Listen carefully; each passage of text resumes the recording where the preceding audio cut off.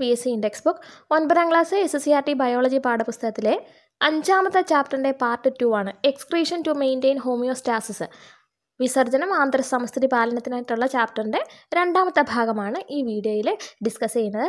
അപ്പോൾ വീഡിയോസൊക്കെ യൂസ്ഫുൾ ആണെങ്കിൽ തീർച്ചയായിട്ടും ചാനൽ സബ്സ്ക്രൈബ് ചെയ്യുക ലൈക്ക് ചെയ്യുക നിങ്ങളുടെ സുഹൃത്തുക്കൾക്ക് പരമാവധി ഷെയർ ചെയ്യുക. നിങ്ങളുടെ സപ്പോർട്ട് ഉണ്ടെങ്കിൽ മാത്രമേ വീഡിയോ ചെയ്യാൻ പറ്റുകയുള്ളൂ. അപ്പോൾ നമുക്ക് എന്ത് ചെയ്യാം? ചാപ്റ്ററിലേക്ക് പോകാം. ആദ്യത്തെ പാർട്ടിനെ അപേക്ഷിച്ച് രണ്ടാമത്തെ പാർട്ട് താരതമ്യേന എളുപ്പമാണ്. പക്ഷേ ഇമ്പോർട്ടന്റ് ആയിട്ടുള്ള കാര്യം തന്നെയാണ് ഒമ്പതിന്റെ ഒൻപതാം ക്ലാസ്സിന്റെ എല്ലാ ചാപ്റ്ററും ഇമ്പോർട്ടന്റ് ആണ്. അതുപോലെ തന്നെ S S C R T text ബുക്കിൽ ഏറ്റവും വൈഡായിട്ട് പഠിക്കാനുള്ള ക്ലാസ് ഏതാണ് എന്ന് ചോദിച്ചിട്ടില്ല എന്റെ അഭിപ്രായത്തിൽ അത് ഒൻപതാം ക്ലാസ്സാണ് പത്താം ക്ലാസ്സിനെ അപേക്ഷിച്ച് കൂടുതലും പ്രയാസം ഉള്ളതും എല്ലാം എന്ത് തന്നെയാണ് ഒൻപതാം ക്ലാസ്സിന്റെ ടെക്സ്റ്റ് ബുക്കാണ് എസ്പെഷ്യലി സയൻസും സോഷ്യലൊക്കെ ഒരുപാടുണ്ട് പഠിക്കാൻ. അപ്പോൾ നമുക്ക് ചാപ്റ്ററിലേക്ക് പോകാം. അപ്പോൾ പാർട്ട് വൺ ജസ്റ്റ് ഒരു പ്രാവശ്യം എഴുതി വെച്ചിരിക്കുന്ന നോട്ട് ഒന്ന് വായിച്ചതിന് ശേഷം മാത്രം പാർട്ട് ടൂവിലോട്ട് ഒന്ന് കയറുക കേട്ടോ. കാരണം എന്തൊക്കെയാണ് നമ്മൾ പഠിച്ചതെന്നുള്ളതൊന്നും അറിയാമല്ലോ. ഫോർമേഷൻ ഓഫ് യൂറിനാണ് ലാസ്റ്റ് നമ്മൾ പറഞ്ഞു നിർത്തിയത്. പിന്നെ ആന്തര സംസ്ഥിതി പാലനത്തിലെ വൃക്കയ്ക്കുള്ള പങ്കുമൊക്കെ നമ്മൾ പറഞ്ഞ് നിർത്തിയത്. ഇനി നമുക്ക് നോക്കാം അടുത്ത ഭാഗം വൃക്ക രോഗങ്ങൾ തെറ്റായ ആരോഗ്യശീലങ്ങളും ജീവിതശൈലിയും രോഗാണുബാധയും വൃക്കകളുടെ ആരോഗ്യത്തെ ദോഷകരമായിട്ട് ബാധിക്കുന്നു. വൃക്കകളുടെ ബാധിക്കുന്ന പ്രധാനപ്പെട്ട രോഗങ്ങൾ ഏതൊക്കെയാണെന്നാണ് കൊടുത്തിട്ടുള്ളത്. ഫസ്റ്റ് വൺ നെഫ്രൈറ്റിസ് ആണ്. ഇതിന് കാരണം അണുബാധയോ വിഷബാധയോ മൂലം വൃക്കകൾക്കുണ്ടാകുന്ന വീക്കമാണ് നെഫ്രൈറ്റിസിന് കാരണം. ലക്ഷണം എന്താ? കലങ്ങിയതും കടും നിറത്തോടു കൂടിയതുമായിട്ടുള്ള യൂറിനാണ് അതുപോലെ പുറം വേദന പനി മുഖത്തും കണങ്കാലിലും ഒക്കെ വീക്കം. ഈ വൃക്കയായിട്ട് റിലേറ്റഡ് ആയിട്ട് എന്തെങ്കിലും ഒരു അസുഖം ഉള്ളവരിൽ കൂടുതലും കാലിൽ നല്ല നീര് കാണും. എപ്പോഴും എന്ന് വിചാരിച്ച് ഇനിയിപ്പം ആർക്കെങ്കിലും കാലിൽ നീരുണ്ടെങ്കിൽ അത് വൃക്കയ്ക്ക് അസുഖം അങ്ങനെയല്ല പറഞ്ഞത്. പക്ഷെ എന്നാലും വൃക്കയ്ക്ക് എന്തെങ്കിലും ഒരു അണുബാധയോ ഒക്കെ ഉണ്ടെങ്കിൽ അത് കൂടുതലായിട്ടും കാലിൽ എന്ത് ചെയ്യും? നീര് വെക്കും. ഇനി അടുത്തത് വൃക്കയിലെ കല്ലാണ് കിഡ്നി സ്റ്റോണിന്റെ കാര്യമാണ്. വൃക്കയിലോ മൂത്രപഥത്തിലോ കാൽസ്യം ലവണങ്ങൾ തരികളായി അടിഞ്ഞു കൂടുന്നതാണ് വൃക്കയിലെ കല്ലിന് കാരണം അടിവയറ്റിൽ വേദന മൂത്രതടസ്സം തലകറക്കം ഛർദി എല്ലാം എന്താണ് വൃക്കയിലെ കല്ലിന്റെ ലക്ഷണമാണ്. അടിവയറ്റിൽ വേദന തുടങ്ങിയാൽ തന്നെ എന്ത് ചെയ്യുക കണ്ടിന്യൂസ് ആയിട്ട് ഒന്ന് രണ്ട് ദിവസം നമ്മൾ ശരിക്കും എന്ത് ചെയ്യുക വെള്ളം കുടിക്കുക. എങ്കിൽ കാരണം അത് എന്ത് ചെയ്യും? യൂണറി ഇൻഫെക്ഷനിലോട്ടും സ്റ്റോണിലോട്ടും ഒക്കെ അങ്ങ് പോകും. അതുകൊണ്ട് വെള്ളം അനിവാര്യമായിട്ടുള്ളൊരു കാര്യമാണ്. അടുത്ത യുറീമിയ വളരെ ഇമ്പോർട്ടന്റ് ആണ്. പലതരം വൃക്കരോഗങ്ങൾ നെഫ്രൈറ്റിസ് പ്രമേഹം രക്താതിമർദ്ദം ഇതെല്ലാം എന്താണ് യുറീമിയയ്ക്ക് കാരണമാണ്. വിളർച്ച ശരീരഭാരം കുറയുക തലകറക്കം ശ്വാസതടസ്സം വയറിളക്കം മൂത്രോൽപാദനം ക്രമേണ നിലയ്ക്കുന്നു. ഇതൊക്കെ യുറീമിയയുടെ ലക്ഷണമാണ്. അപ്പോൾ യുറേമിയ ഏതവയവത്തെ ബാധിക്കുന്ന അസുഖമാണ്? കിഡ്നിയെ അഫക്റ്റ് ചെയ്യുന്ന അസുഖമാണ്. കേട്ടോ അത് യുറീമിയയ്ക്കുള്ള കാരണം. പലതരം വൃക്കരോഗങ്ങൾ എന്തിന് കാരണമാണ്? യുറീമിയയ്ക്ക് കാരണമാണ്. യുറീമിയ പ്രത്യേകം എന്ത് ചെയ്യുക? നോട്ട് ചെയ്യുക. കാരണം നെഫ്രൈറ്റിസ് ഒക്കെ നമ്മൾ നെഫ്രോൺ കിഡ്നിയിലാണ് കാണപ്പെടുന്നത് എന്നുള്ളത് കൊണ്ടൊക്കെ നമുക്ക് എന്ത് ചെയ്യാം? അതിലോട്ട് നമുക്ക് എത്തിച്ചേരാം. എന്നാലും യുറീമിയ എന്ത് ചെയ്യുക? ഓർത്ത് വെക്കുക ഒന്നുകൂടെ. ഇനി അടുത്തത് നമ്മൾ പഠിക്കാൻ പോകുന്നത് ഹീമോഡയാലിസിസ് ആണ്. എന്താണ് ഹീമോ ഡയാലിസിസ് വൃക്കകൾ തകരാറിലാകുന്ന അവസ്ഥയിൽ കൃത്രിമ വൃക്കയിലൂടെ രക്തം കടത്തിവിട്ട് ശുദ്ധീകരിക്കുന്ന പ്രക്രിയയാണ് എന്ത് haemodialysis is a process of purifying blood എങ്ങനെ? By passing it through artificial kidney when the kidney becomes non functional അല്ലേ കിഡ്നി പ്രവർത്തനരഹിതമാകുന്ന അവസ്ഥയിൽ എന്ത് ചെയ്യുക? കൃത്രിമ വൃക്കയിലൂടെ രക്തം കടത്തിവിട്ട് ശുദ്ധീകരിക്കുന്ന പ്രക്രിയയാണ് എന്ത്? ഹീമോ ഡയാലിസിസ് എന്ന് പറയുന്നത്. ഹീമോ ഡയാലിസിന് മെയിനായിട്ട് മൂന്ന് സ്റ്റെപ്പാണുള്ളത്. ഫസ്റ്റ് വൺ നോക്കിയാട്ടെ. വൺ ടു ത്രീ എന്ന് നമ്പർ ഇട്ടിട്ടുണ്ട്. ധമനിയിൽ നിന്ന് മാലിന്യങ്ങളുടെ അളവ് കൂടിയ രക്തം ഡയാലിസിസ് യൂണിറ്റിലേക്ക് കടത്തിവിടുന്നു. ഫസ്റ്റ് സ്റ്റെപ്പാണ്. അതുപോലെ തന്നെ രക്തം കട്ട പിടിക്കുന്നത് തടയുന്നതിന് എന്ത് ചേർക്കുന്നുണ്ട്? ഹെപ്പാരിൻ ചേർക്കുന്നുണ്ട്. അത് വളരെ ഇമ്പോർട്ടന്റ് ആണ്. രക്തം കട്ട പിടിക്കാ പിടിക്കുന്നത് തടയുന്നതിന് എന്താണ് ചേർക്കുന്നത്? ഹെപ്പാരിൻ. രണ്ടാമത്തെ സ്റ്റെപ്പോ ഡയാലിസിസ് യൂണിറ്റിലൂടെ രക്തം ഒഴുകുമ്പോൾ രക്തത്തിലെ മാലിന്യങ്ങൾ ഡിഫ്യൂഷനിലൂടെ ഡയാലിസിസ് ദ്രാവകത്തിലേക്ക് എന്ത് ചെയ്യുന്നു? വ്യാപിക്കുന്നു. അതിനുശേഷം ഡയാലിസിസ് യൂണിറ്റിനകത്തുള്ള ഡയാലിസിസ് ഫ്ലൂയിഡാണ് കാണിച്ചിട്ടുള്ളത്. മൂന്നാമത്തെ സ്റ്റെപ്പിൽ എന്ത് ചെയ്യും? ശുദ്ധീകരിക്കപ്പെട്ട രക്തം തിരികെ സിരകളിലേക്ക് കടത്തിവിടുന്നു. അപ്പോൾ ഇതാണ് എന്താ ഹീമോ ഡയാലിസിസിന്റെ സ്റ്റെപ്പ്. അപ്പോൾ എന്താണ് ഹീമോ ഡയാലിസിസ് എന്ന് മനസ്സിലല്ല അപ്പോൾ നമ്മളിപ്പോൾ പറഞ്ഞു വന്നത് വൃക്ക രോഗങ്ങൾ പറഞ്ഞു. അതിനുശേഷം നമ്മൾ പറഞ്ഞ ഹീമോ ഡയാലിസിസ് ആണ്. അതിന് തൊട്ടിപ്പുറത്ത് കൃത്രിമ വൃക്കയെക്കുറിച്ചൊരു പോയിന്റ് ഇമ്പോർട്ടന്റ് ആയിട്ട് പറഞ്ഞിട്ടുണ്ട്. ആദ്യത്തെ കൃത്രിമ വൃക്ക രൂപകൽപ്പന ചെയ്ത ഡച്ച് ഡോക്ടറായിട്ടുള്ള വില്യം ജോഹാൻ കോഫ് ആണ്. വളരെ ഇമ്പോർട്ടന്റ് ആണ്. തീർച്ചയായിട്ടും പഠിച്ചു വെക്കുക. ആദ്യത്തെ കൃത്രിമ വൃക്ക രൂപകൽപ്പന ചെയ്തത് ഡച്ച് ഡോക്ടറായിട്ടുള്ള വില്യം ജോഹാൻ കോഫ് ആണ് കേട്ടോ. നോട്ട് ചെയ്ത് വെക്കുക പേര് ഓർത്ത് വെക്കുക ഇനി വൃക്ക മാറ്റി വെക്കൽ വളരെ ഇമ്പോർട്ടന്റ് ആയിട്ടുള്ള കാര്യമാണ്. ആർക്ക് ചിലർക്കെങ്കിലും എന്ത് ചെയ്യാം? അറിയ ഇപ്പോഴും എന്താ മനസ്സിലാകാത്ത കാര്യം മനസ്സിലാകാത്ത നമ്മൾ ചിന്തിക്കാത്ത ഒരു കാര്യം കൂടാണ് ഇവിടെ എടുത്ത് പറയുന്നത്. രക്തം ശുദ്ധീകരിക്കുന്നതിന് ആരോഗ്യമുള്ള ഒരു വൃക്ക മതിയാവും. എന്നാൽ ഒരു വൃക്ക ഒരു വ്യക്തിയുടെ രണ്ട് വൃക്കകളും പൂർണമായി തകരാറിലാകുമ്പോൾ ജീവൻ നിലനിർത്തുന്നതിന് വേണ്ടി മറ്റൊരാളിൽ നിന്ന് പ്രവർത്തനക്ഷമമായ ഒരു വൃക്ക സ്വീകരിക്കുക അപ്പോൾ രക്തം ശുദ്ധീകരിക്കുന്നത് ആരോഗ്യമുള്ള എന്ത് ഒരു വൃക്ക മതി. അപ്പോൾ പക്ഷേ രണ്ട് വൃക്കയും ഫങ്ഷൻ അല്ലാണ്ടിരിക്കുന്ന സമയത്ത് നോൺ ഫങ്ഷണലായിട്ടിരിക്കുന്ന സമയത്ത് ജീവൻ നിലനിർത്തുന്നതിന് വേണ്ടിയിട്ട് എന്ത് ചെയ്യും? മറ്റൊരാളിൽ നിന്ന് ഫങ്ഷണലായിട്ടുള്ള പ്രവർത്തനക്ഷമമായ ഒരു വൃക്ക സ്വീകരിക്കേണ്ടി വരും. പൂർണ ആരോഗ്യവാനായിരിക്കെ അപകടത്തിലോ പൂർണ ആരോഗ്യവാനായിരിക്കെ അപകടത്തിലോ മറ്റോ പെട്ട് മരണപ്പെടുന്ന ആളുടെയോ പൂർണ ആരോഗ്യവാനായ ഒരാളുടെയോ വൃക്ക രക്തഗ്രൂപ്പുകളുടെയും കലകളുടെയും പൊരുത്തമനുസരിച്ച് മാറ്റിവെക്കാവുന്നതാണ്. വൃക്ക മാറ്റിവെക്കുമ്പോൾ പ്രവർത്തനരഹിതമായ അതായത് ശ്രദ്ധിക്കേണ്ട കാര്യം ഇതാണ്. നമുക്കിപ്പോൾ ഒരു വൃക്ക മതി ബ്ലഡിന്റെ ഈ പ്യൂരിഫിക്കേഷനൊക്കെ നടത്താൻ വേണ്ടിയിട്ട്. പക്ഷേ രണ്ട് വൃക്കയും നോൺ ഫങ്ഷണൽ ആവുന്ന സിറ്റുവേഷനിലാണ് എന്ത് ചെയ്യുന്നത് വൃക്ക മാറ്റി വയ്ക്കുന്നത്. ശ്രദ്ധിക്കേണ്ട കാര്യം ഈ വൃക്ക മാറ്റി വയ്ക്കുമ്പോൾ നോൺ ഫങ്ഷണൽ ആയിട്ടുള്ള പ്രവർത്തനരഹിതമായ രഹിതമായ വൃക്കകൾ എന്ത് ചെയ്യുന്നില്ല? നമ്മുടെ ശരീരത്തിൽ നിന്ന് നീക്കം ചെയ്യുന്നില്ല. മനസ്സിലായോ? വൃക്ക മാറ്റി വയ്ക്കുമ്പോൾ പ്രവർത്തനരഹിതമായ വൃക്കകൾ നീക്കം ചെയ്യുന്നില്ല. പകരം പുതിയ വൃക്ക പഴയ വൃക്കയുടെ ചുവടെ സ്വീകർത്താവിന്റെ വൃക്കാധമനിയുമായും വൃക്ക സിരയുമായും ബന്ധിപ്പിക്കുന്നു. കണ്ടോ? ശ്രദ്ധിക്കുക പുതിയ വൃക്കയുടെ മൂത്രവാഹി സ്വീകർത്താവിന്റെ മൂത്രസഞ്ചിയുമായി ബന്ധിപ്പിക്കുന്നു. ഡോക്ടർ ജോസഫി മുറെ ആദ്യമായി വൃക്ക മാറ്റിവെക്കൽ ശസ്ത്രക്രിയ നടത്തി. അപ്പോൾ മനസ്സിലായോ? അതായത് ഞാൻ പറഞ്ഞത് നമ്മൾ ഈ വൃക്ക മാറ്റിവെക്കൽ എന്ന് പറയുമ്പോഴത്തേക്ക് ചിലരെങ്കിലും വിചാരിക്കും നോൺ ഫങ്ഷണൽ ആയിട്ടുള്ള വൃക്ക മാറ്റിയിട്ട് തൽസ്ഥാനത്ത് പുതിയൊരു വെക്കുവാണെന്ന് പക്ഷേ അങ്ങനല്ല. പുതിയ വൃക്ക പഴയ വൃക്കയുടെ ചുവടെ സ്വീകർത്താവിന്റെ വൃക്കാധമനിയുമായി വൃക്കാസിരയുമായി ബന്ധിപ്പിക്കുകയും അതുപോലെ തന്നെ പുതിയ വൃക്കയുടെ മൂത്രവാഹി സ്വീകർത്താവിന്റെ മൂത്രസഞ്ചിയുമായി ബന്ധിപ്പിക്കുകയാണ് ചെയ്യുന്നത്. ആരാണ് ആദ്യമായി വൃക്ക വൃക്ക മാറ്റിവെക്കൽ ശസ്ത്രക്രിയ നടത്തിയത്? Joseph E. മുറ. അത് ശ്രദ്ധിക്കുക കേട്ടോ. ഇനി വളരെ ഇമ്പോർട്ടന്റ് ആയിട്ടുള്ള കാര്യമാണ്. ഒരുപാട് പരീക്ഷയ്ക്ക് പല പല ക്വസ്റ്റ്യൻസ് നമ്മൾ പ്രീവിയസ് ഒക്കെ എടുത്ത് നോക്കാമെങ്കിൽ നമുക്ക് കാണാൻ കഴിയും. വിസർജനം മറ്റ് ജീവികളിൽ എക്സ്ക്രീഷൻ ഇൻ അതർ ഓർഗാനിസമാണ് അതായത് കുറച്ച് ആനിമൽസിന്റെ കുറച്ച് ഇമ്പോർട്ടന്റ് ആയിട്ടുള്ള കാര്യങ്ങളും അതുപോലെ തന്നെ പ്ലാന്റ്സിന്റെ കാര്യവും പറയുന്നുണ്ട്. വളരെ വളരെ വളരെ ഇമ്പോർട്ടന്റ് ആയിട്ടുള്ള പോർഷനാണ് കേട്ടോ. ശ്രദ്ധിക്കുക. നമുക്ക് ഓരോരുത്തരുടെയും കാര്യം നോക്കാം. ഫസ്റ്റ് വൺ അമീബ അമീബയുടെ എക്സ്ക്രീറ്ററി ഓർഗൻ നമുക്ക് ഓരോന്ന് വായിച്ച് നോക്കാം. പ്രത്യേക വിസർജനാവയവങ്ങളില്ല. അമോണിയ കോശത്തിലധികമായി എത്തുന്ന ജലം എന്നിവ സങ്കോച ഫേനങ്ങൾ വഴി പുറന്തള്ളുന്നു. അപ്പോൾ അമീബയിൽ പ്രത്യേകിച്ചൊരു വിസർജന അവയവം ഇല്ല. പക്ഷേ എക്സ്ക്രീറ്ററി ഓർഗനായിട്ട് എന്താണ്? കോൺട്രാക്റ്റൈൽ വാക്യൂളാണ് കേട്ടോ. സങ്കോച ഫേനമാണ്. അത് ഓർത്തു വെക്കുക. അമീബയിലെ എക്സ്ക്രീറ്ററി ഓർഗൻ എന്ന് എടുത്ത് ചോദിച്ചു കഴിഞ്ഞാൽ എന്താ സങ്കോച ഫേനം അല്ലെങ്കിൽ കോൺട്രാക്റ്റൈൽ വാക്യൂൾ എന്ന് ഓർത്തു വെക്കുക. അമീബയുടെ എക്സ്ക്രീറ്ററി പ്രോഡക്റ്റ് എന്താണ്? അമോണിയ. അമീബയിലെ അമോണിയ നമുക്കത് ഓർത്തു വെക്കാം. ഇനി നമുക്ക് തൊട്ടിപ്പുറത്തെ ഷഡ്പദങ്ങൾ നോക്കിയാലോ? ഇൻസെക്റ്റിന്റെ കാര്യങ്ങൾ എന്താണെന്ന് നോക്കാം. ഇൻസെക്റ്റിൽ എക്സ്ക്രീറ്ററി ഓർഗൻ ഏതാണ്? മാൽപീജിയൻ ട്യൂബ്യൂൾസ് ആണ് കേട്ടോ. വിസർജനാവയവങ്ങൾ മാൽപീജിയൻ നളികകൾ അന്നപദ വിസർജനാവയവങ്ങൾ മാൽപീജിയൻ നളികകൾ. അന്നപദത്തോട് ഏഹ്, ബന്ധപ്പെട്ട് കാണുന്ന ഇവ ശരീരദ്രവത്തിൽ നിന്ന് യൂറിക് ആസിഡ് പോലുള്ള മാലിന്യങ്ങളെ വേർതിരിച്ച് ദഹനാവശിഷ്ടങ്ങൾക്കൊപ്പം പുറന്തള്ളുന്നു അപ്പോൾ ഇൻസെക്റ്റിലെ വിസർജനാവയവം ഏതാണ്? മാൽപീജിയൻ ട്യൂബൂൾസ് ആണ് അല്ലെങ്കിൽ മാൽപീജിയൻ നളികകളാണ്. അന്നവൃത്തോട് ബന്ധപ്പെട്ട് കാണുന്ന ഇത് ഈ ശരീരദ്രവത്തിൽ നിന്ന് യൂറിക് ആസിഡ് പോലുള്ള മാലിന്യങ്ങൾ. അപ്പോൾ ഇൻസെക്റ്റിലെ എക്സ്ക്രീറ്ററി പ്രോഡക്റ്റ് വിസർജ്യ വസ്തു ഏതാണ്? യൂറിക് ആസിഡ് ആണ്.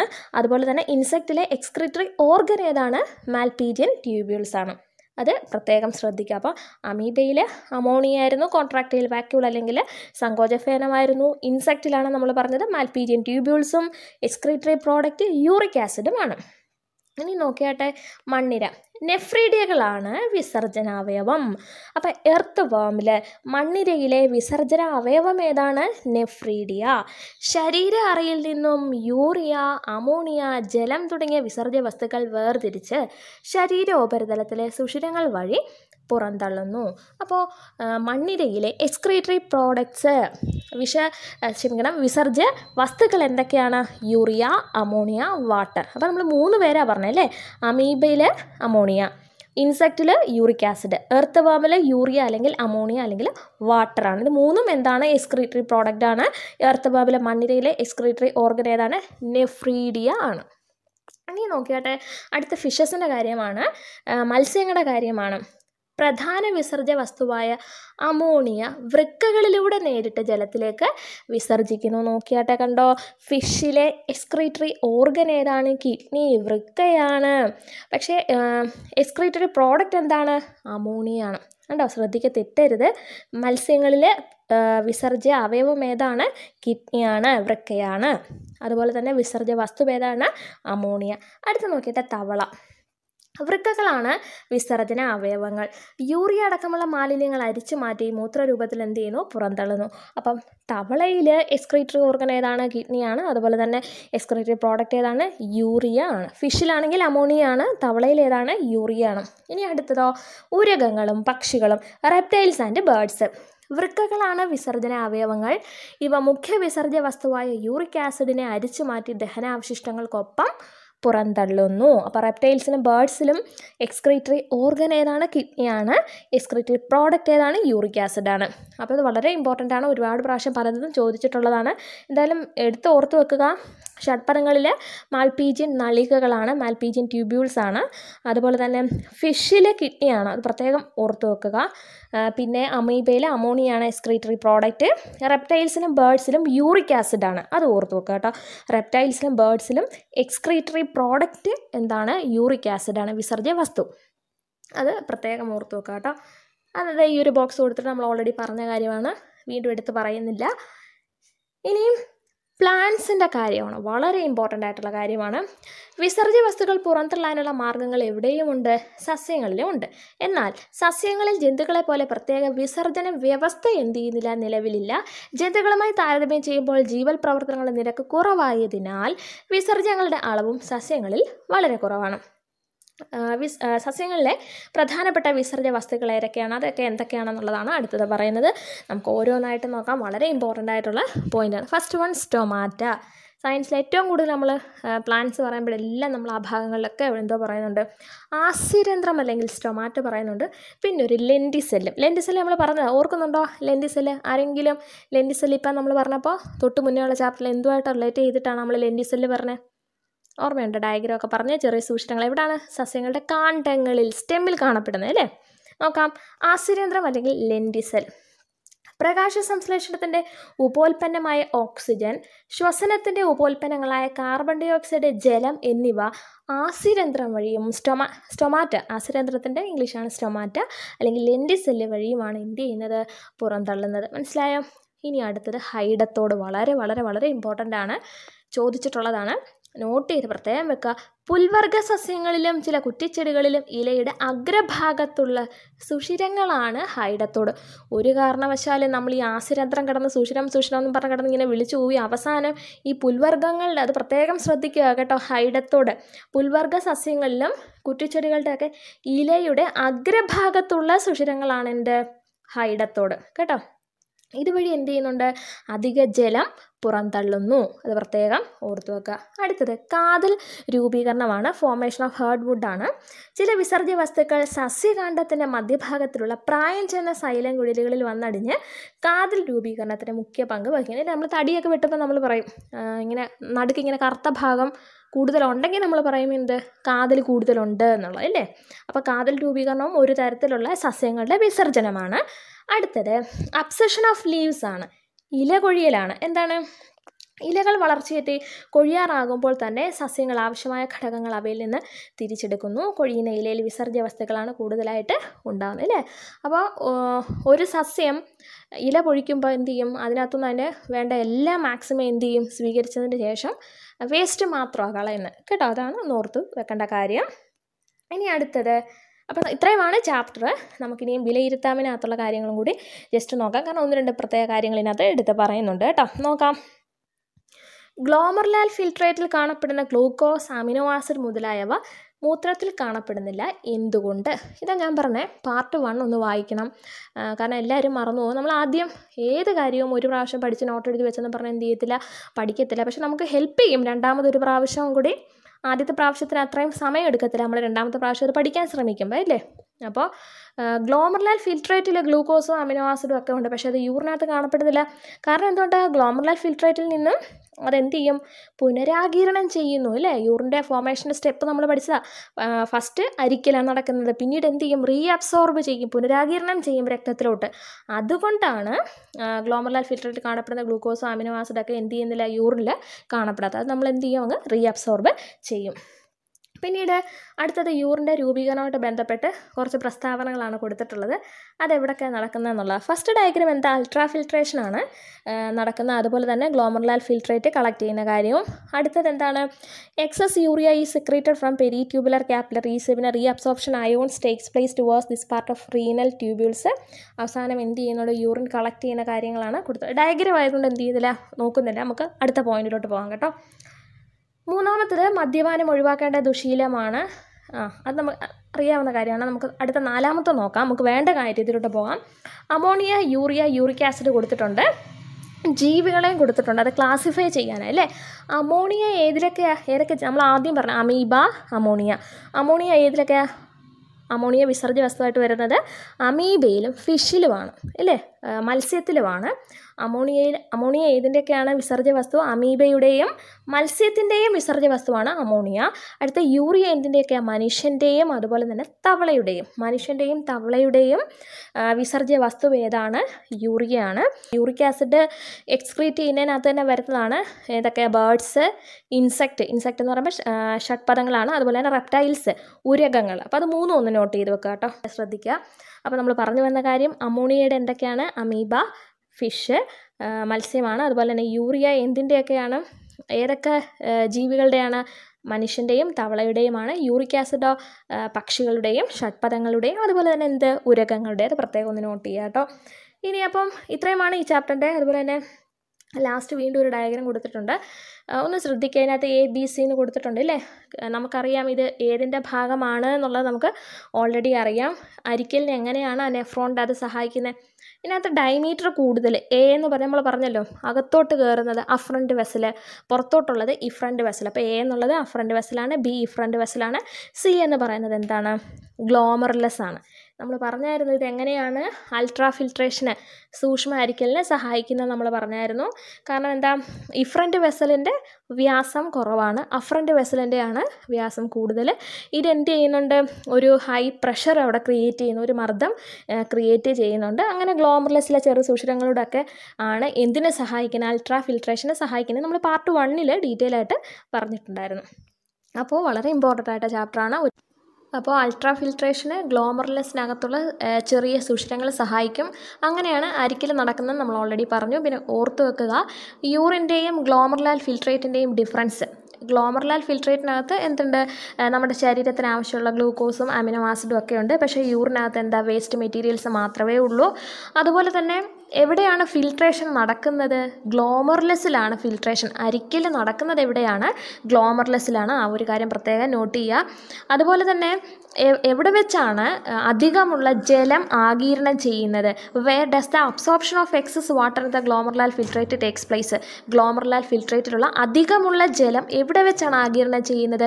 കളക്റ്റിംഗ് ഡക്റ്റിൽ വെച്ച് ശേഖരണ നാളിയിൽ വെച്ചിട്ടാണ് ആഗീരണം ചെയ്യുന്നത്. അത് പ്രത്യേകം നോട്ട് ചെയ്യുക. അതുപോലെ തന്നെ യൂറിക് ആസിഡ് എക്സ്ക്രീറ്റ് ചെയ്യുന്ന ഓർഗാനിസം ഏതൊക്കെയാണ് ഏതൊക്കെ ജീവികളിലാണ് വിസർജ്യ വസ്തു യൂറിക് ആസിഡ് ആയിട്ടുള്ളത്? ഒന്ന് ഇൻസെക്റ്റിലുണ്ടായിരുന്നു ഷഡ്പദങ്ങളിൽ പിന്നെ റെപ്റ്റൈൽസ് ഉരകങ്ങളിലുണ്ടായിരുന്നു ബേർഡ്സ് പക്ഷികളിലും ഉണ്ടായിരുന്നു. അങ്ങനെയുള്ള ഇമ്പോർട്ടന്റ് കാര്യങ്ങളൊക്കെ തീർച്ചയായിട്ടും ഓർത്ത് വെക്കുക. വളരെ ഇമ്പോർട്ടന്റ് ആയിട്ട് ചാപ്റ്ററാണ് ഒരുപാട് പ്രാവശ്യം പല ക്വസ്റ്റ്യൻസും ഈ ചാപ്റ്ററിന് ചോദിച്ചിട്ടുണ്ട്. കഴിഞ്ഞ പ്രാവശ്യം നമ്മൾ റാങ്ക് മേക്കിംഗ് ആയിട്ട് വന്ന ഒരു ക്വസ്റ്റ്യനാണ് പറഞ്ഞത്. മറ്റേ ഗ്ലോമർലാൽ ഫിൽട്രേറ്റിന്റെ കാര്യം ഒരു മിനിറ്റിലെ കാര്യം ഇല്ലേ? നമ്മൾ ടെക്സ്റ്റ് പറഞ്ഞിരിക്കുന്നത് എങ്ങനെ? പക്ഷേ എക്സാമിന് ചോദിച്ച ക്വസ്റ്റ്യനും അത് കണ്ടതാണ്. പ്രത്യേകം നോട്ട് ചെയ്യുക. അതുപോലെ തന്നെ പാർട്ട് വൺ കാണാതാണ് പാർട്ട് ടു കാണുന്നതെങ്കിൽ അയ്യോ തീർച്ചയായിട്ടും പാർട്ട് വൺ കാണണം കേട്ടോ. എന്നിട്ടേ പാർട്ട് ടു കാണാവുള്ളൂ. അപ്പോൾ വീഡിയോ യൂസ്ഫുൾ ആണെന്ന് വിശ്വസിക്കുന്നു. യൂസ്ഫുൾ ആണെങ്കിൽ തീർച്ചയായിട്ടും എന്ത് ചെയ്യുക? ലൈക്ക് ചെയ്യുക ഷെയർ ചെയ്യുക കമന്റ് ചെയ്യുക. അതുപോലെ തന്നെ സബ്സ്ക്രൈബ് ചെയ്യുക. നിങ്ങൾ മാക്സിമം എന്ത് ചെയ്യുക? ഇത് ഷെയർ ചെയ്ത് സഹായിക്കുക. അപ്പോൾ നിങ്ങളുടെ വിലയേറിയ അഭിപ്രായങ്ങൾക്കായി കാതോർത്തുകൊണ്ട് നിർത്തിട്ട് നന്ദി. നമസ്കാരം.